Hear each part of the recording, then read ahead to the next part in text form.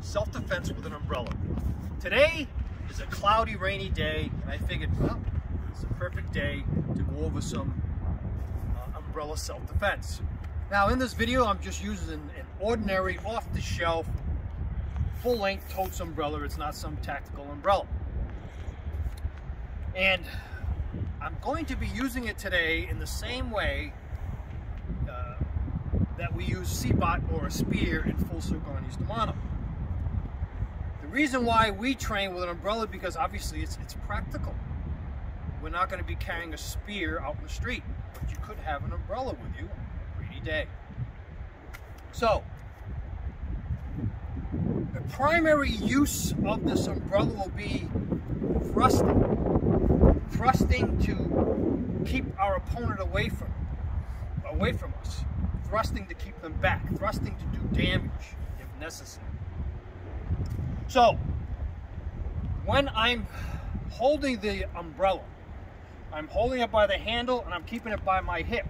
I'm keeping the tip of my umbrella pointed towards my opponent, towards my opponent's center line, as well as in front of my center.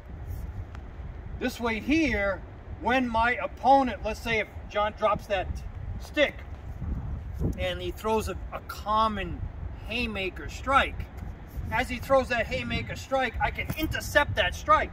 And if necessary, thrust again, follow up with a handle, or maybe push and run or get away if, if I can, if possible. So, that's one way of using it is to thrust to intercept my opponent's strike. So if, he goes to throw a rear leg front kick, I can thrust and intercept. Again, depending on the situation, it's going to be I strike to the eyes or to the throat or to the sternum, solar plexus, groin, etc. It depends on the situation. I'm the throat. That can be a fatal strike. An eye, again, you're blinding your opponent. So make sure that you can justify force if you use the strike to those target areas.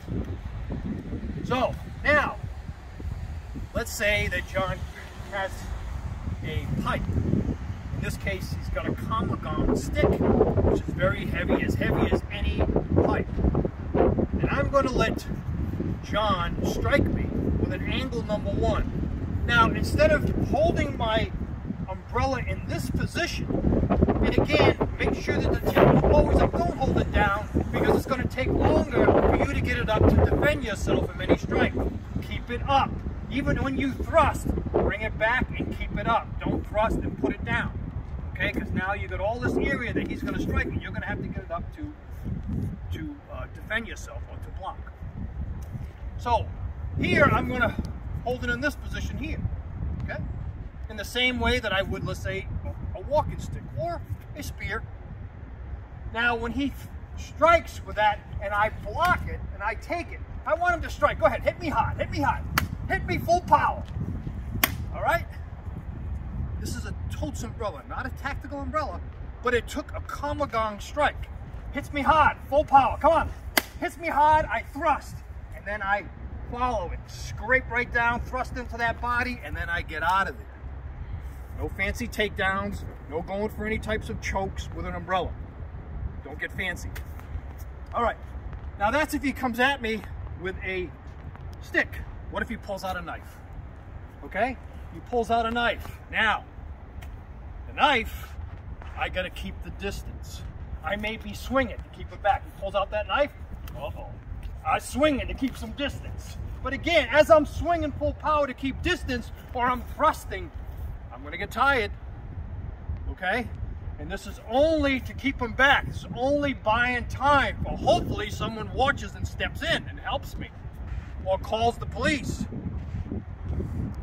Or I'm gaining distance by thrusting or swinging at him while he's got that knife. Hold that knife out. Okay? Try to cut me. Try to cut me. Any type of cut. Cut me. Okay? See, I'm intercepting. Okay? Now, I may intercept, blind him, hit him in the eyes or the throat or whatever, do some damage, and then get out of there. Okay? But if I'm keeping him back, or if I'm swinging to keep him back, This is only to maybe try to grab a secondary weapon or maybe look for some other improvised weapon or look for something to throw. Right? So you don't I could I can't continue to do that. So again, notice I I'm using it for distance. If he holds out his knife, full length, hold your knife out as far as reach as far as you can. Yeah? And I have this, okay? My goal is to what? See? I have the length advantage with a full length. Okay? I have a length advantage. So anytime he comes in, give me an angle two backhand slash, I, I've got him. Give me an overhead, come down at me, I've got him. If he stabs into my body, I can drop it. I dropped it on the knife. I hope that was a knife. Was that the knife in your hand? okay? I drop it down. What? That's defanging the snake. So I can do that. If he goes to stab, I could drop that down, strike that hand, and then thrust quick, and then get out of it. Okay? So we can defang the snake and use this umbrella also like a stick. So let's say, because there's always a what if, he doesn't have the knife, I go to thrust, and he grabs my umbrella, okay? If he grabs my umbrella, I could oblique kick that shin. Or I can oblique kick that shin, bring this up, which puts his wrist in a, in a weak position, straight down to clear it and thrust, and then get out of it. But what if he grabs the umbrella this way? Okay, we're struggling. Okay, same thing. I can kick to the groin. I can kick to the groin if he's still holding it, bring it up to the vertical position, bring it down to clear it, thrust into the body, and then get out of there. So, these are some of the things that you can do with an ordinary off-the-shelf umbrella. Of course, the umbrella can get damaged because it's not some tactical umbrella. But the important thing is that you use it for self-defense to save your life and get out of it. Thanks for watching.